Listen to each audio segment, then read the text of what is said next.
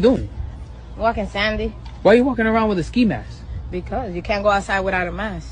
But that's for the corona. That's for the corona too. That's not gonna protect you. I feel protected.